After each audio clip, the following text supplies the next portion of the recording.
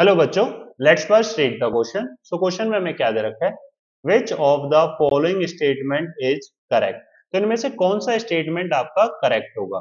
Conductivity always increases with decrease in concentration both for weak and the strong electrolyte तो बच्चों conductivity क्या होती है? The ability of a species to carry charge and hence conduct electricity by the movement of the charge in the provided medium is the conductivity तो उसको क्या बोलते हैं बच्चों? कंडक्टिविटी बोलते हैं। एंड कंडक्टिविटी किस पे डिपेंड करती है? Number of ions present per unit volume किस पे बच्चों? Number of ions present per unit volume पे ये हमारी डिपेंड करती है। तो अब क्या करोगे? कंसंट्रेशन जैसे ही आप डिक्रीज करते हो तो कंसंट्रेशन क्या होती है? नंबर ऑफ़ मोल्स अपॉन में क्या होता है? वॉल्यूम तो यहाँ पे अगर आप वॉल्यूम देखो तो नंबर ऑफ़ मोल्स अपॉन में कंसंट्रेशन तो जैसे ही आपने कंसंट्रेशन डिक्रीज करी तो वॉल्यूम आपका क्या करेगा बच्चों? इंक्रीज करेगा। तो number of ions per unit volume क्या करेंगे? डिक्रीज करेंगे। तो कंडक्टिविटी क्या करती है? ऑलवेज डिक्रीजेज यहाँ पे क्या आएगा? अगर इंक्रीज की जगह डिक्रीज होता तो ये स्टेटमेंट सही होता। तो ये अपना क्या हो जाएगा? गलत हो जाएगा बच्चों। इसके बाद the conductivity of electrolytic solution decrease with increase of temperature तो जब भी इलेक्ट्रोलाइटिक सॉल्यूशन की बात आती है बच्चों तो अगर हमारे पास क्या होता, अगर हमें कोई कंडक्टर दिया होता मेटेलिक कंडक्टर ठीक है?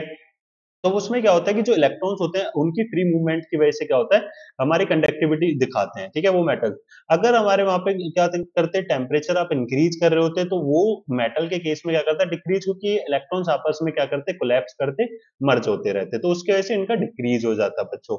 बट क्या है कि जब भी इलेक्ट्रोलाइटिक सॉल्यूशन की बात करते हैं तो इलेक्ट्रोलाइटिक सॉल्यूशन के केस में क्या होता है when we increase the temperature the kinetic energy of the ions increases and they move faster. That is, they conduct their bearing charge faster and thus result in increased conductivity. किसमें क्या करते हैं बच्चों? तो वो conductivity को increase करते हैं। यहाँ पे decrease दे रखा है तो ये भी गलत है।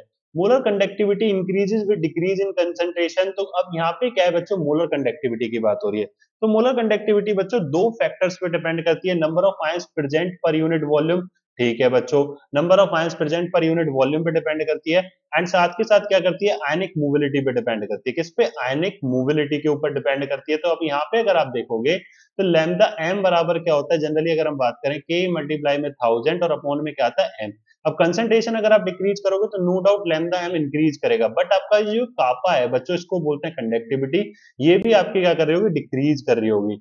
ठीक है, ये क्या कर रही होगी? डिक्रीज तो कंसंट्रेशन डिक्रीज करने से क्या करोगे आप? अगर कंसंट्रेशन डिक्रीज करने से तो आयन की जो बीच की डिस्टेंस होती है, वो क्या होती है? डिक्रीज होती है। तो आयनिक मोबिलिटी क्या होगी बच्चों?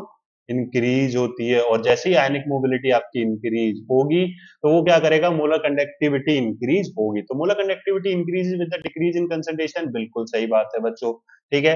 एंड इसके बाद क्या है? According to the Kohlrausch law the degree of dissociation alpha will be तो अब यहाँ पे क्या डिग्री ऑफ़ डिसोसिएशन अल्फ़ा का अगर हम बात करेंगे, किसके अकॉर्डिंग कॉलोज लो के अकॉर्डिंग तो क्या फॉर्मूला होगा? तो ये होता है हमारा अल्फ़ा बराबर molar conductivity at any concentration upon में आता है molar conductivity at infinite dilution तो ये आपका फॉर्मूला होता है। बट यहाँ पे क्या दे रखा है?